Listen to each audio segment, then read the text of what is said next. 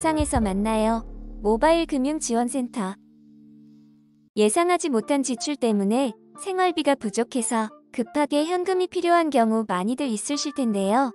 하지만 주변에 빌리기에는 불편하고 그렇다고 대출을 받자니 소득이 없는 주부나 무직자분들은 소득 증빙이 되지 않아서 대출을 받기도 어려운데요. 또한 프리랜서 분들은 소득 증빙으로 복잡한 서류 제출 때문에 답답해 하시는 경우가 많더라고요. 또한 결국 대출을 받는다 하여도 많지도 않은 금액 때문에 대출을 받았다가 신용도 하락과 점점 쌓여가는 기대출로 많이 불편하실 텐데요. 그래서 오늘은 이런 고민들을 모두 해결해드리고자 영상을 준비했습니다. 바로 솜티켓의 소액결제 현금화 서비스 이용 방법인데요. 소액결제 현금화라는 게 생소하신 분들도 계실 텐데요. 간단하게 설명드리자면 우리가 사용하는 휴대폰에는 소액 결제라는 부가 서비스가 존재하는데요. 이 소액 결제라는 부가 서비스는 현금 또는 신용카드를 대신하여 휴대폰으로 미리 결제를 하는 시스템인데요.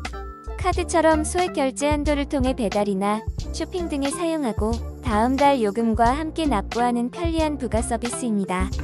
최근 이 소액결제 부가 서비스로 모바일 전용 상품권이라는 걸 구매할 수 있게 되어서 소액결제로 모바일 전용 상품권을 구매한 후에 상품권 매입 전문 업체 솜티켓에 판매하여 현금을 마련하는 방법입니다.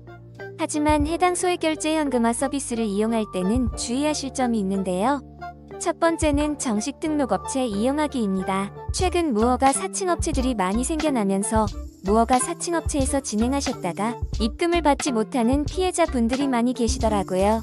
솜티켓은 한국상품권 협회에 정식 등록되어 운영되고 있어서 안전한 진행이 가능했어요. 두 번째는 아무래도 모바일 전용 상품권을 구매하고 판매하는 거래 과정이다 보니 이 과정에서 일부 매입 수수료가 발생되는데요. 솜티켓은 제가 알아본 다른 업체들보다 매입 수수료가 가장 작아서 너무 좋았어요. 또한 365일 24시간 운영되어서 언제든 편하게 상담받을 수 있어서 너무 편리했어요. 오늘은 소액결제 현금화 방법에 대해 소개드렸는데요.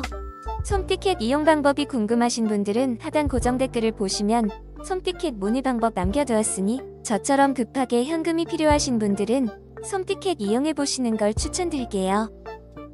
오늘 준비한 영상은 여기까지인데요. 어려운 경기로 힘든 요즘 이 영상이 도움되었길 바라겠습니다. 다음 영상에서 만나요. 모바일 금융지원센터 예상하지 못한 지출 때문에 생활비가 부족해서 급하게 현금이 필요한 경우 많이들 있으실 텐데요. 하지만 주변에 빌리기에는 불편하고 그렇다고 대출을 받자니 소득이 없는 주부나 무직자분들은 소득 증빙이 되지 않아서 대출을 받기도 어려운데요. 또한 프리랜서 분들은 소득 증빙으로 복잡한 서류 제출 때문에 답답해 하시는 경우가 많더라고요. 또한 결국 대출을 받는다 하여도 많지도 않은 금액 때문에 대출을 받았다가 신용도 하락과 점점 쌓여가는 기대출로 많이 불편하실 텐데요. 그래서 오늘은 이런 고민들을 모두 해결해드리고자 영상을 준비했습니다. 바로 솜티켓의 소액결제 현금화 서비스 이용 방법인데요. 소액결제 현금화라는 게 생소하신 분들도 계실 텐데요. 간단하게 설명드리자면 우리가 사용하는 휴대폰에는 소액결제라는 부가 서비스가 존재하는데요. 이 소액결제라는 부가 서비스는 현금 또는 신용카드를 대신하여 휴대폰으로 미리 결제를 하는 시스템인데요.